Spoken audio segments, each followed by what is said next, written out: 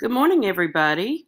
This is going to be a video on how to open an assignment and put it into Kami and then turn it in when you are finished. So on my screen, you can see now um, the day nine assignment for South Carolina history. And the directions say open the document in Kami. Then you're going to read and answer the questions as you go. Type your answers in Kami and submit the completed assignment to Canvas when you finish. So that is exactly what we are going to do in this video. So first, we're going to click on the actual assignment and it's going to download. Uh, now I'm on a MacBook. This may look a little bit different on your um, on your Chromebook, but I'm going to open that. And when it opens, um, since I don't have an option here to open it in Kami, I'm going to make sure that it is downloaded. Just save that. Then I'm going to come up here to the top and open Kami. See, it's this, if you have it downloaded, uh, if you don't have it as an extension on your Chromebook, you need to add that. But it should be up here um, or maybe somewhere along, or you can just open kami.com. But I'm going to click on that. Excuse me. And it's going to open Kami. This is what you see when you open Kami. I am going to click on Open from Computer and click on, well, I don't have to click on Recents. It's the first one there. So I'm going to choose it and open it.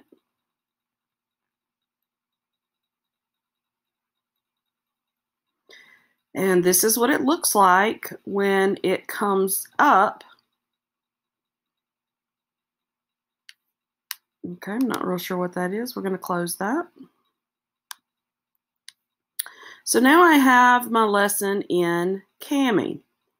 And you do not have to annotate this, but if you want to, um, the easiest way to do this would be to draw on it. Um, and you can underline things if you want to or you could do shapes um, and put a box around something if you need to.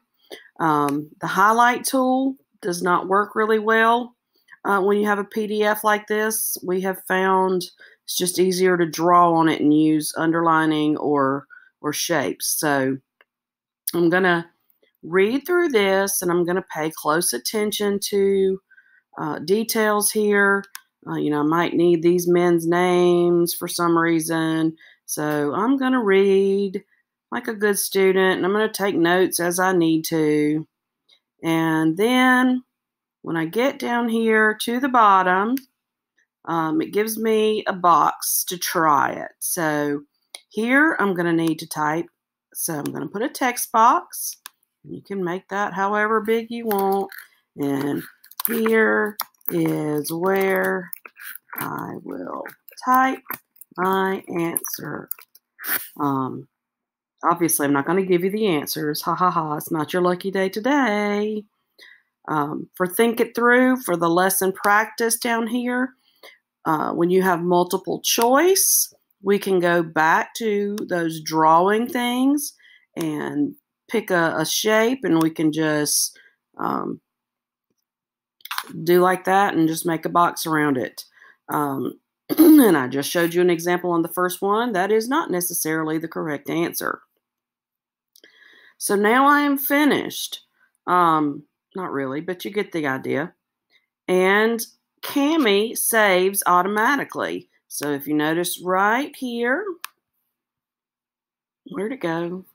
Well, it had saved up here before. But anyway, now I'm going to go over here to download. Uh, there is a save option there if you want to make sure, uh, but it does save automatically. But you could go to save now, and it says it's saving, but autosave should be checked. make you might want to check on that. Make sure autosave is checked. But now I'm going to go over here to download. It's the arrow with a line under it. Click download. It's going to say your computer. That should be the box that is highlighted. Then make sure PDF with all annotations is selected.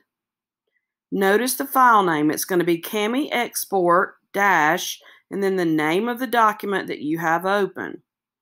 We want to make sure to include all pages and then we're going to click Begin Export.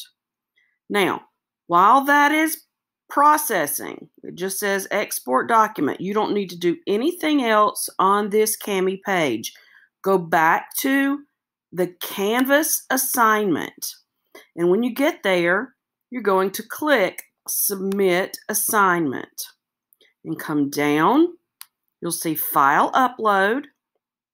You're going to choose the file. Now, here again, mine looks different, but you're going to click on Recents.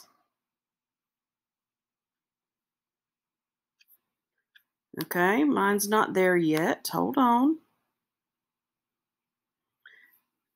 And you're looking for in yours, it's going to be there with the with the recents, but mine I'm having to look for it for some reason.